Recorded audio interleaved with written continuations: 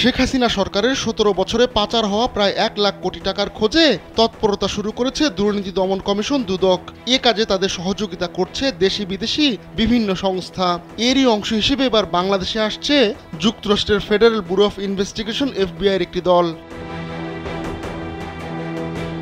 সোমবার এফবিআই এর legal attache Robert Cameron ও সুপারভাইজার স্পেশাল এজেন্টের সমন্বয়ে একটি দল দুদকের মানি লন্ডারিং এবং লিগ্যাল শাখার মহাপরিচালক সহ সংশ্লিষ্ট কর্মকর্তাদের সঙ্গে বৈঠক করবেন। এর আগে গেল রোববার সচিবালয়ে বাণিজ্য মন্ত্রণালয়ে বৈঠক করেন অন্তর্বর্তী সরকারের অর্থ ও বাণিজ্য উপদেষ্টা ডক্টর সালেউদ্দিন আহমেদ। সভা শেষে তিনি বলেন, বিদেশে পাচার হওয়া অর্থ ফিরিয়ে আনতে টাস্ক ফোর্স গঠন করা হবে। একমাত্র ওয়ালটন এসি দিচ্ছে এক বছরের রিপ্লেসমেন্ট গ্যারান্টি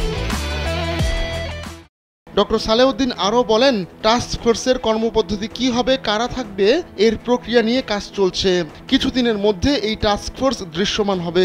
জাতীয় রাজস্ব বোর্ড ও ব্যাংক খাতের সংস্কারে আলাদা টাস্ক ফোর্স গঠন করা হবে বলেও জানান তিনি। সরকারের এই বিশেষ task ফোর্সে Bangladesh bank, Bangladesh financial intelligence unit, দুর্নীতি দমন কমিশন, অর্থ বিভাগ, রাজস্ব বিভাগ, অ্যাটর্নি জেনারেল কার্যালয়, বাংলাদেশ সিকিউরিটিজ অ্যান্ড এক্সচেঞ্জ কমিশনের মতো সংস্থার প্রতিনিধিরা থাকবেন বলে জানা গেছে।